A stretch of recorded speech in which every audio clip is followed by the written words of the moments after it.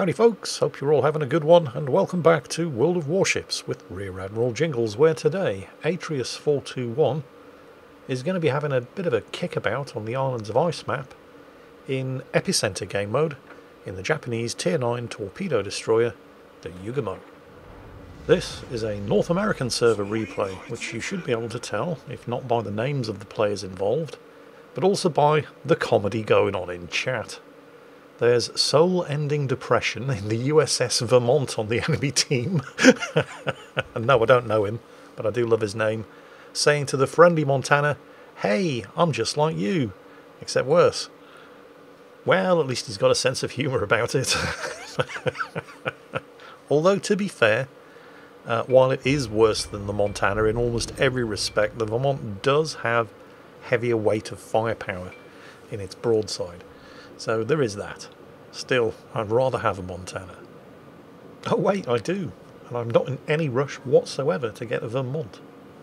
Although I can see the Vermont being useful in competitive, where targets are generally only spotted for a couple of seconds and so you have to make every single shot count. And in those kind of circumstances, being able to unload a bigger weight of firepower onto a target that's only visible for a few seconds is probably very useful.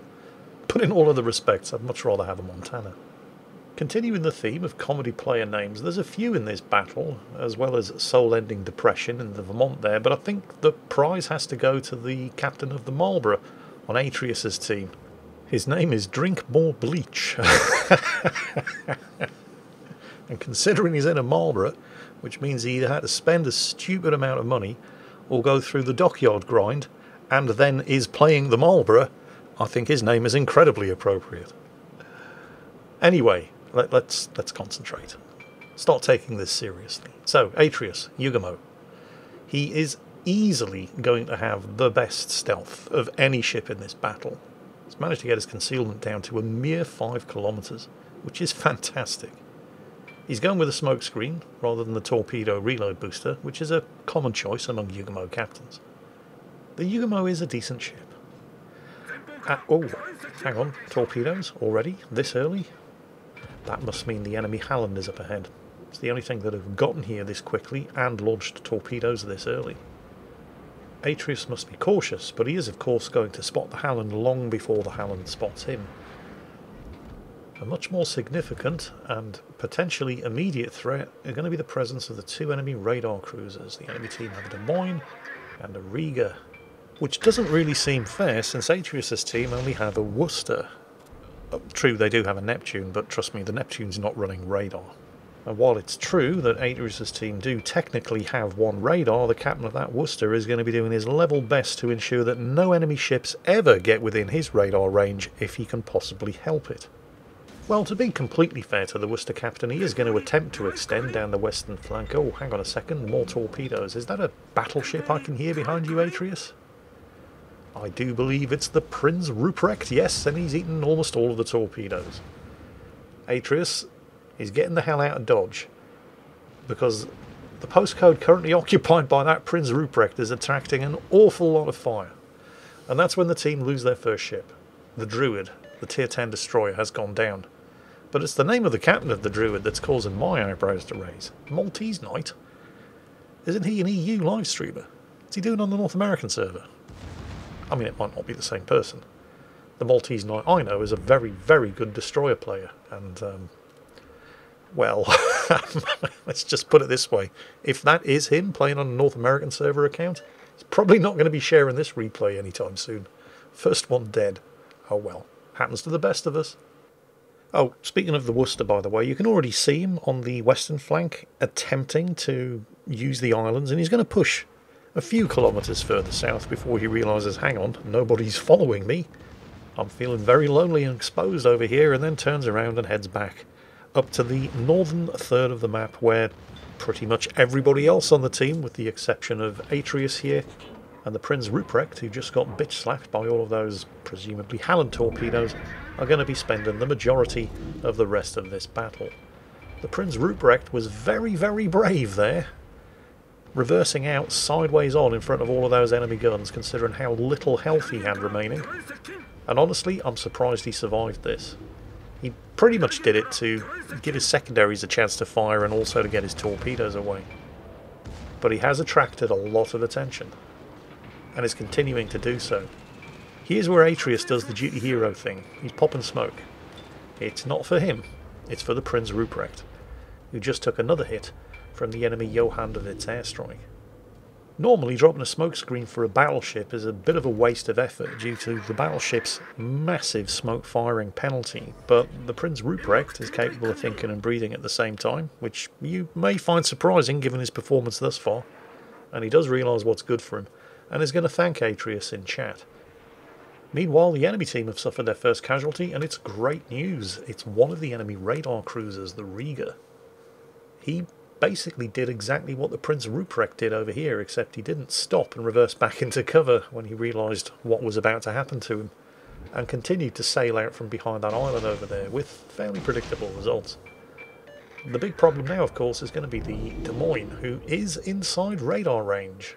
Although I'm only assuming the Des Moines actually has its radar available, because Atreus was radared earlier. It was quite safe, he was behind the island, nobody could shoot at him. But at the point where the radar was active, only the Riga was inside radar range. So I'm assuming that the Des Moines radar is available and yet he's not using it.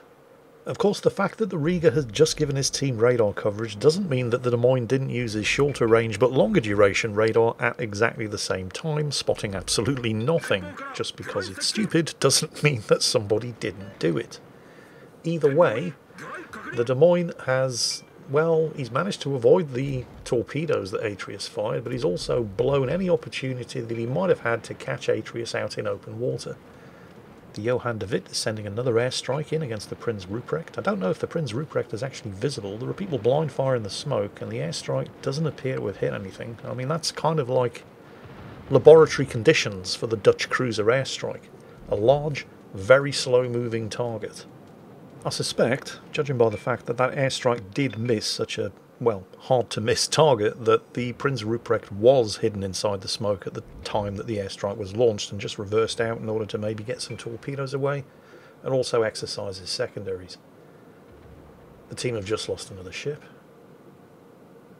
I do have to apologise, by the way. Netherlands, I'm sorry, but your your cruisers in this game are terrible.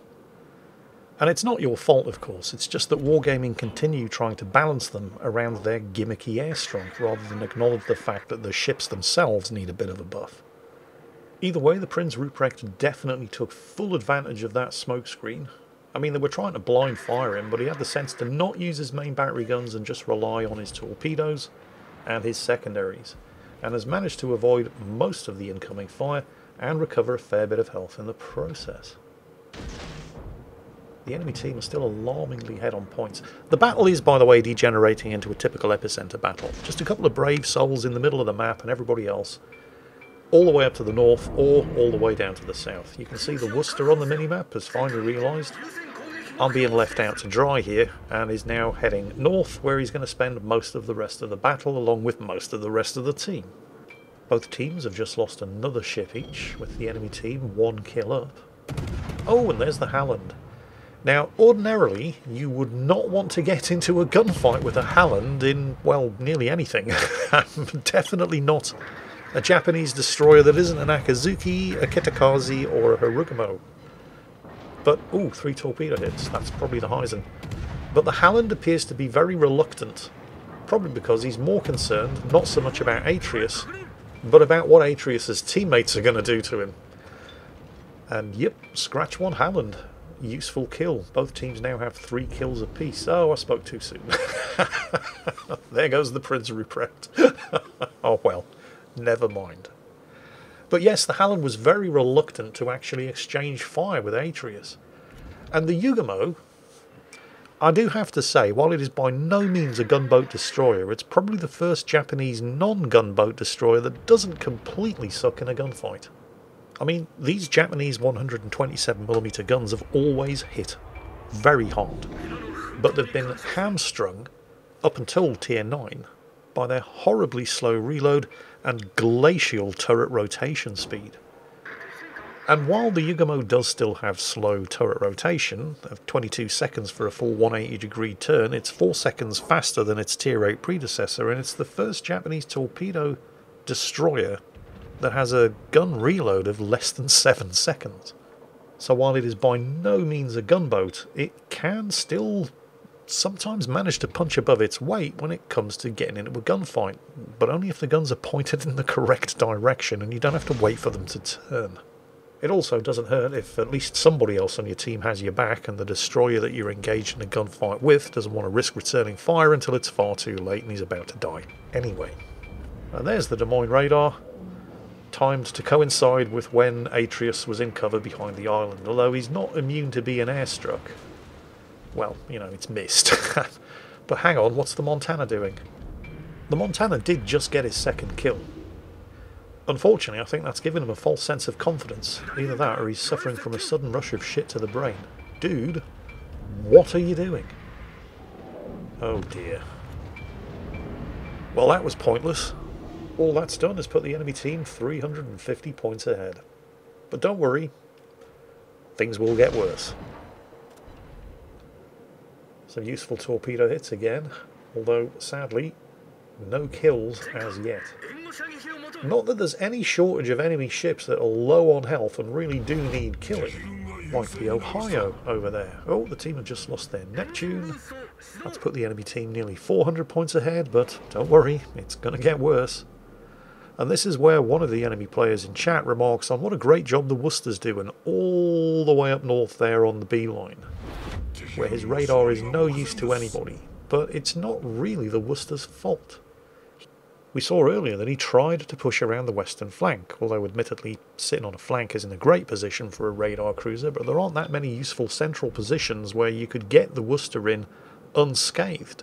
And when he realised that the rest of his team were all cowering behind the islands 15 kilometres behind him, he just gave it up. Well, the rest of his team, with the exception of Atreus here, and the Prince Ruprecht, who's dead, and the Montana, who's dead, but you get the idea. The Worcester wasn't planning on joining them, and thrown his ship away pointlessly. Speaking of which, the team have just lost another ship. Okay, let's let's just pause and take a snapshot here. Well, let's not actually pause it because that Ibuki is dangerously close, but with the loss of the Yoshino, the enemy team are now 600 points ahead and Atreus' team are on less than 200 points. The enemy team are already saying GG in chat, they think it's all over and this is where the fight back begins, beginning with the hilariously named Drink More Bleach in the Marlborough, who finally finishes off the Ohio. All eyes on the Ibuki for the moment, however, which is kind of ironic since, well, Atreus is the one actually spotting the Ibuki, and he's deployed his smoke, so at the moment there are no eyes on the Ibuki. He's taken a guess here with his remaining backup torpedo launcher, pops them in the water based on where he thought the Ibuki was going to be. Now the Ibuki does have its own torpedoes, and as we all know, smoke screens are torpedo magnets. But the Ibuki's torpedoes are rearward facing, and Atreus launched that torpedo salvo at the point where he correctly, as it turned out, guessed that the Ibuki was going to have to maneuver in order to get its torpedoes away. So there's his first actual kill, and he's up to just under 100,000 damage. Now the Ibuki may have managed to get the torpedoes away before it was sunk. So Atreus is not hanging around inside that smokescreen. He pops out just long enough to get fresh eyes. The enemy team are still 600 points ahead and they have a one kill advantage. And if you look at the map, you can see that they're sweeping up on both flanks to envelop the bulk, aside from himself, of Atreus's team.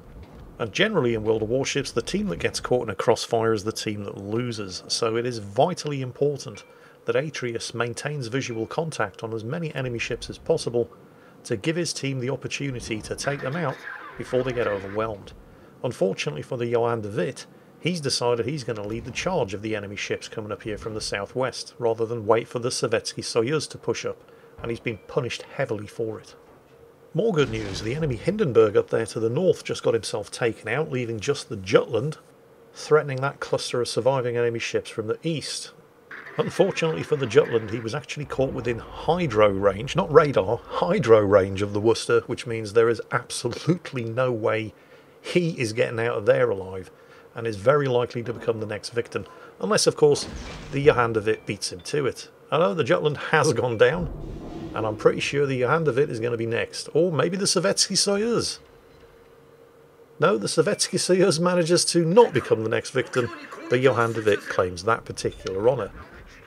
The team are still 500 points behind, however, with 5 minutes of the battle remaining. You may be sitting there thinking to yourself, this may be the moment where the enemy team might want to chill the hell out, fall back, assume defensive positions, and just take the win that their 500 point lead is giving them. You might think that, but I'd argue that that ship sailed quite a few minutes ago.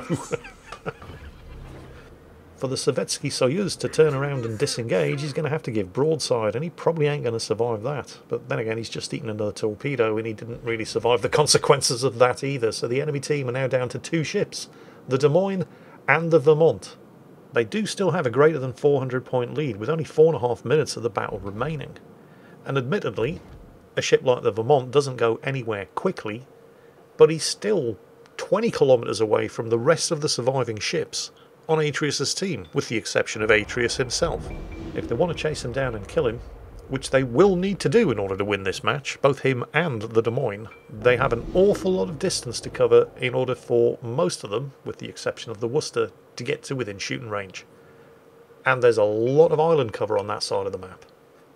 But both the Des Moines and the Vermont keep pushing forward into increasingly heavy enemy firepower when what they need to do in order to win is just not die. Now the Vermont is slow, but it's just fast enough, and the gap between those islands is just narrow enough that Atreus can't actually get a torpedo solution on him. Unless two things happen. One, he gets closer than five kilometres and gets spotted by the Vermont, which has happened. And the Vermont's managed to knock out one of his torpedo launchers. But even that wouldn't have been enough if the Vermont had simply continued on the course he was already sailing, instead of turning, beaching on the island, and making himself an even bigger sitting duck for Atreus's surviving torpedo launcher. Oh dear, oh dear, oh dear. And it was all going so well. All of which occurred at almost exactly the same time that the Des Moines managed to get himself caught in open water while continuing to push forward for no apparently good reason, getting himself bitch slapped by the San Luis, awarding the San Luis the Kraken Unleashed in the process, which I thought was extremely generous of the Des Moines. Somehow the enemy team managed to snatch defeat from the jaws of victory. I mean, I say somehow. I honestly don't expect anybody to be surprised at these sort of developments by now. It seems to be the way most World of Warships battles end these days. You'll be pleased to hear nothing has changed. Congratulations to the four surviving members of Atreus's team. All of them did very, very well. And I hope you enjoyed today's video because that's it for today. As always, take care, stay safe, and I'll catch you next time.